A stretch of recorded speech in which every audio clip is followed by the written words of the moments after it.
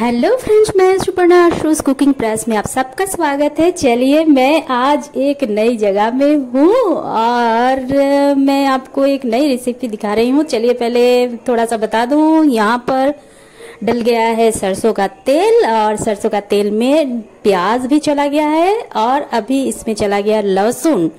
सरसों का तेल में प्याज को कुछ देर तक पकाना है, उसके बाद लहसुन डालना है। अब लहसुन को भी कसना है, उसके बाद इसमें देखिए डल रहा है हरी मिर्च। तो चलिए फ्रेंड्स, मैं दिखाती हूँ आपको क्या क्या इसमें डल रहा है और क्या पक रहा है। मैं बाद में दिखाती हूँ थोड़ा सा धैर्य धरिए। चलिए मैं बातें भी करती हूँ आपसे। ये तो आप देख ही रहे हैं कि एक नया सा किचन है तो मैं यहाँ कैसे आई, कहाँ हूँ? चलिए बताती हूँ। ये देखिए, इसमें डल रहा है अदरक, उसके बाद जाएगा टमाटर एक एक करके इसको थोड़ा कुछ देर तक पकाना है, फिर एक एक करके उसमें मिक्स भी करते जाना है। अब चलिए बता देती हूँ, मैं गई थी अपने परिवार के साथ दीघा। तो दीघा में हमारे जो बौदी रहते हैं, आप इन्हें देख ही सकते हैं। इन्हें मैंने पहले कभी आपको दिखाया नहीं। एक्चुअली इनके साथ अभी मेरा मुलाकात हुआ है, हाल ही में। और उसी दौरान ये बॉडी बहुत अच्छा बनाती हैं, ये रेसिपी तो वही पका रही हैं तो उसकी रेसिपी मैंने सोचा आपके साथ भी शेयर कर दूँ।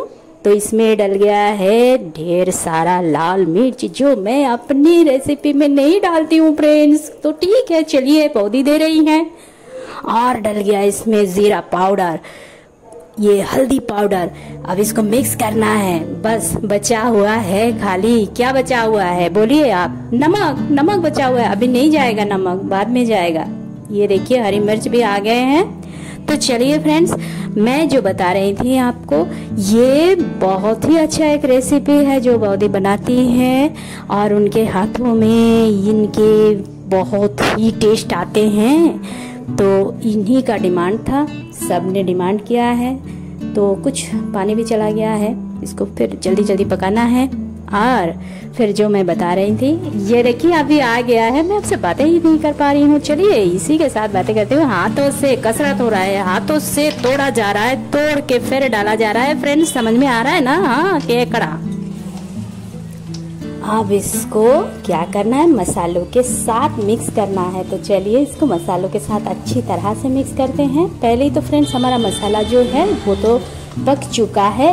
इसको बहुत देर तक हमने कसा है। तो अब इसको केकड़ा के साथ अच्छी तरह से मिक्स करना है। मिक्स करने के बाद इसमें डालेगा नमक, क्योंकि नमक अभी तक हमने डाला नहीं है।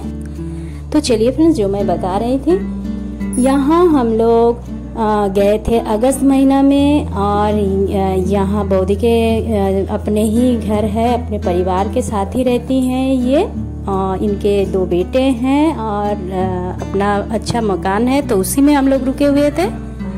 और फिर यहाँ से ही हम लोग सारा जगह घूमकर ही देख चुके थे। लेकिन गए थे अगस्त महीना में। टाइम ही नहीं मिला आपके साथ ये शेयर करने की, क्योंकि एडिटिंग में मुझे टाइम बिल्कुल नहीं मिल रहा था। तो फ्रेंड्स आज टाइम मिला है तो अच्छी तरह से एडिट करके आपको दे रही हूँ।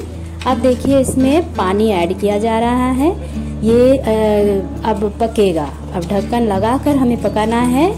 15 टू 20 मिनट्स फ्रेंड्स इसको पकाना है। जिस तरह से मैंने दिखाया है, आप भी उसी तरह से पकाकर एक बार टेस्ट करके फिर मुझे कमेंट्स में बताइए। और इधर देखिए भैया, प्याज छिल रहे हैं और उन्हीं के बड़े बेटे ये बैठे हुए हैं, साथ में है निम्बी इन्हें तो आप जानते हाँ फाइनली कंप्लीट हो चुका है। अब चलिए जो खाने के लिए इतना उत्सुक थे कि ये मुझे खाना है, हमें खाना है। तो चलिए उनको सर्व किया जाए।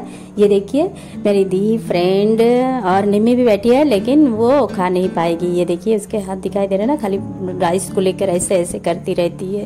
तो फ्रेंड्स मैं बता दूँ, जिन्होंने जिन्होंने ये खाया था, बहुत ही अच्छा लगा था। क्योंकि आप जानते हो, मैं हूँ प्योर वेजिटेरियन मैं ये सब नहीं खाती हूँ। लेकिन इतना तो मालूम होता है कि कौन सा खाना अच्छा हुआ है या बुरा हुआ है, बहुत ही अच्छा बना था। आप भी इसे ट्राई करके देख सकते हो। लेकिन फ्रेंड्स मैं एक सुझाव आपको देना चाहूँगी कि आप इसका जब भोजन करते हैं तो थोड़ा सा ध्यान रखिएगा।